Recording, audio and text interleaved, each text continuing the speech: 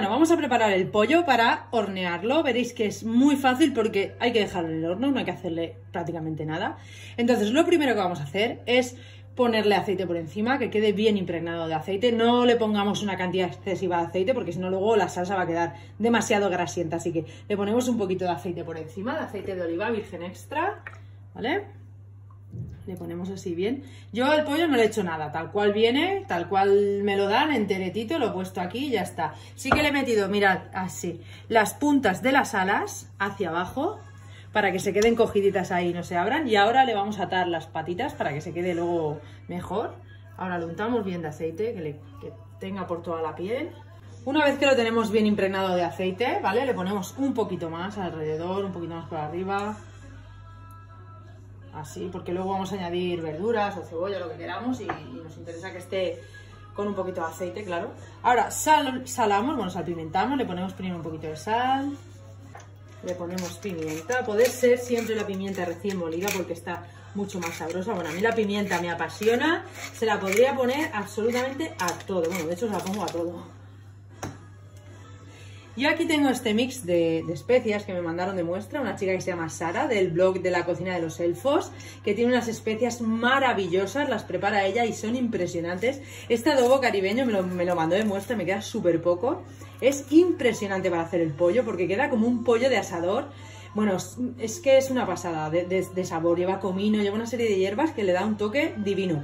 Si no tenéis esta mezcla de hierbas, podéis poner cualquier otra, la que queráis.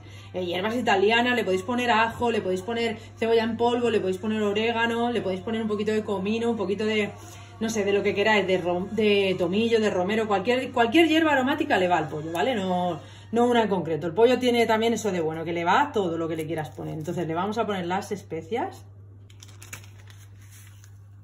se la vamos a poner así por encima, por la pirecita, por aquí.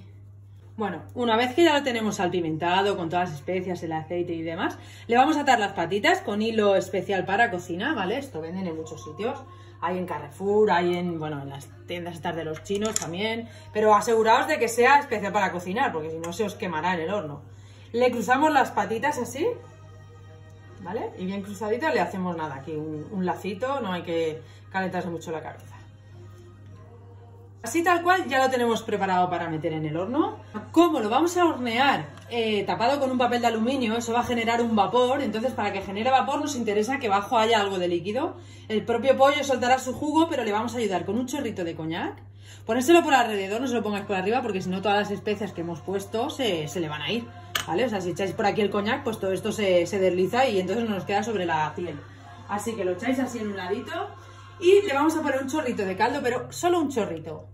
¿Vale? Yo esto es simplemente caldo con una pastillita de estas. Mirad, yo utilizo mucho estos cubitos, bueno, ahora ya lo he deshecho, pero estos son cubitos de, caldo de, caldo de carne de Nor. Están súper ricos porque son muy sabrosos. Sí, sé que no es la opción más saludable, lo sé, pero la cantidad que trae aquí es tan mínima que para mí, de verdad, es que no me supone un problema poner de vez en cuando un cubito de estos. Si tenéis caldo de pollo natural, que lo hacéis vosotros, perfectísimo, o de, o de carne o de lo que sea, pero un chorrito de caldo alrededor, luego le pondremos más, ahora de momento con esto es suficiente. Una vez así, con el chorrito del coñac, el chorrito del caldo, las especias. Una vez así lo cubrimos con papel de aluminio. Le vamos a poner uno por aquí. Así que tiene que tapar bien para que no le entre nada de aire, ¿vale? Lo vamos a poner por debajo incluso. Así. Le ponemos otro.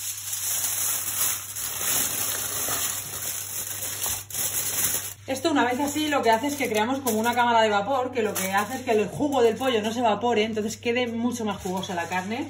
Bueno, ya tengo el pollo en el horno, lo vamos a tener una hora más o menos, porque el pollo necesita media hora por cada kilo de, carne. Entonces yo lo voy a tener una media hora, tres cuartos con el papel tapado, luego lo destaparé, le pondré unas cebollitas, le pondré algo más. Y lo volveré a tapar, lo dejaré otra media hora y después a tostar. Yo creo que calculo que lo tendré sobre hora y media o así más o menos. Veréis que queda súper rico y que es facilísimo de hacer. Seguimos. Enseñároslo, venga, le hemos puesto las patatas y ahora lo vamos a poner otra media hora, tres cuartos y sí que lo vamos a tapar. No sé qué le pasa a mi horno, la verdad es que no, no, no sé, creo que no ha cogido la temperatura que debía. Así que la voy a dejar otra media hora con el horno bien tapadito aquí y luego seguimos. Bueno, sí, ahora ya le quitamos el papel, lo hemos tenido media hora más, lo vamos a meter otra media horita al horno. En total estará hora y media aproximadamente, ¿vale? Luego os dejo bien los tiempos en, la en el detalle, en la descripción. Así que nada, media horita más y terminado. Bueno, aquí tenemos el pollo, ¿vale? Finalmente ha estado casi, yo lo he tenido casi dos horas porque el tema del horno estaba ahí un poco complicado, pero en hora y media es suficiente, es un pollo pequeño, solo pesa dos kilos. Mirad cómo ha quedado tostadito. Bueno, esto está súper jugoso, que es lo bueno de cuando lo cocines con el papel así, que queda súper jugoso. Ahora mirad, he quitado la, grasa que queda por encima de la salsa, porque queda bastante aceitito del que le ponemos, del pollo. Se lo quitáis con una cuchara, lo que la, la capa de arriba, digamos, que se nota que es el aceite. Lo ponemos en un cacito que se reduzca un poco para que espese, para que se concentre un poco más el sabor y ya tenemos la salsa lista también para ponerla por encima. Bueno, ya lo tenemos terminado. Como os he dicho, ha estado aproximadamente hora y media a dos horas en el horno, dependiendo del tamaño del pollo. Ya habéis visto que no hay que hacer absolutamente nada, simplemente lo tenemos ahí y el horno lo hace todo por nosotros. Queda súper vistoso y por un precio de nada, de 6, 7, 8 euros como mucho, tenéis una cena para 6 personas súper rica y vistosa. Así que nada, a disfrutarlo y feliz Navidad.